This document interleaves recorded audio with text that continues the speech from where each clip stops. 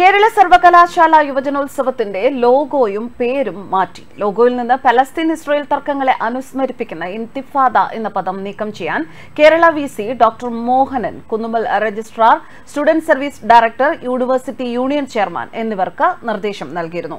Festival Kerala university youth festival എന്ന പേരിൽ മാത്രമായിരിക്കണം എന്നും ഉത്തരവിൽ നിർദ്ദേശിച്ചിരിക്കുന്നു. യൂത്ത് ഫെസ്റ്റിവലുമായി ബന്ധപ്പെട്ട ബാനറുകൾ പോസ്റ്ററുകൾ സമൂഹ മാധ്യമങ്ങൾ എന്നിവയിൽ നിന്ന് ഇന്തിഫാദ എന്ന പേര് നീക്കം ചെയ്യണം. യുവജനോത്സവത്തിന്റെ ഇന്തിഫാദ എന്ന ഈ പുതിയ പേരിനെ ചൊല്ലി പരാതികളും ഹൈക്കോടതിയിൽ ഹർജിയും വന്ന സാഹചര്യത്തിലാണ് വി സി ഇടപെട്ടിരിക്കുന്നത്.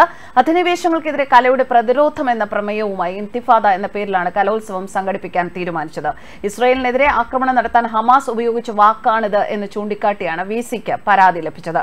ഭീകര സംഘടനകൾ ഉപയോഗിക്കുന്ന വാക്ക് കലോത്സവത്തിന്റെ പേരാക്കുന്നത് ഒഴിവാക്കണമെന്നും പരാതിയിൽ ആവശ്യപ്പെട്ടിരുന്നു.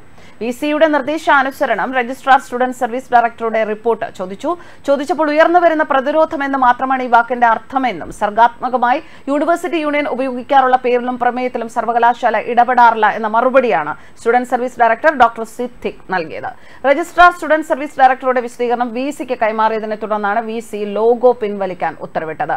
യൂണിവേഴ്സിറ്റി യൂണിയൻ എസ് എഫ് ഐയുടെ പൂർണ നിയന്ത്രണത്തിലാണ്. യുവജനോത്സവത്തിന്റെ നടത്തിപ്പ് യൂണിയനാണെങ്കിലും ഫെസ്റ്റിവലിന് ലക്ഷങ്ങൾ ചിലവിന് സർവകലാശാലയാണ് വഹിക്കുന്നത്.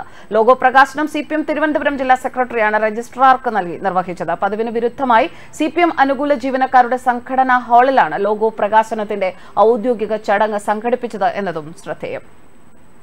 അതേസമയം കേരള സർവകലാശാല കലോത്സവത്തിന് ഇന്തിഫാദ എന്ന പേര് ഉപയോഗിക്കുന്നത് വൈസ് ചാൻസലർ വിലക്കിയതിനെതിരെ സമസ്ത യുവ നേതാവ് സത്താർ പന്തലൂർ ചില വിവാദ പരാമർശങ്ങൾ ഉന്നയിച്ചിരുന്നു. ചിലർക്ക് ചില പേരുകൾ കേൾക്കുന്നത് അലർജിയാണ് എന്നായിരുന്നു അദ്ദേഹം തന്റെ ഫേസ്ബുക്ക് പോസ്റ്റിലൂടെ കുറിച്ചത്.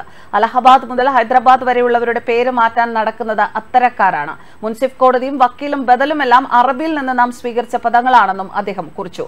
പണ്ട് പേരിൽ എന്തിരിക്കുന്നു എന്ന് ചോദിച്ചവരുടെ നാടാണ് നമ്മുടേത്. ഇപ്പോൾ എല്ലാം പേരിലായിരിക്കുന്നു. ചിലർക്ക് ചില പേരുകൾ കേൾക്കുന്നത് അലർജിയാണ് അലഹബാദ് മുതൽ ഹൈദരാബാദ് വരെയുള്ളവരുടെ പേര് മാറ്റാൻ നടക്കുന്നത് അത്തരക്കാരാണ്. മൃഗശാലയിലെ സിംഹങ്ങൾക്ക് അക്ബർ സീത എന്ന് പേരിട്ടപ്പോൾ മതമിളകിയതും അവർക്കാണ്. ഇപ്പോൾ ആ സൂക്കയുടെ കേരളത്തിലെ ചിലർക്കും പിടികൂടിയിരിക്കുന്നു. കേരള യൂണിവേഴ്സിറ്റിയിലെ കലോത്സവത്തിന് ഇന്തിഫാദ എന്ന പേരിട്ടതാണ് അവരെ ചൊടിപ്പിച്ചിരിക്കുന്നത്. കുലുക്കുക വിറപ്പിക്കുക എന്നതാണ് അർത്ഥം. ഇൻകുലാബ് പോലെ ഇന്തിഫാദയും അറബിയാണെന്ന് മാത്രം. ഇതര ഭാഷാ പദങ്ങൾ കടം വാങ്ങാത്ത ഏത് സമൂഹമാണ് ഭൂമിയിലുള്ളത്? ആരുമില്ല. മുൻസിഫ് കോടതിയും വക്കീലും ബദലുമെല്ലാം അറബിയിൽ നിന്ന് നാം സ്വീകരിച്ച പദങ്ങളാണ്. അറബി ഉർദു ഹിന്ദുസ്ഥാനി പദങ്ങൾ കടമെടുക്കാത്ത ഹിന്ദി പാട്ടുകൾ ഉണ്ടോ എന്നും ചോദ്യം.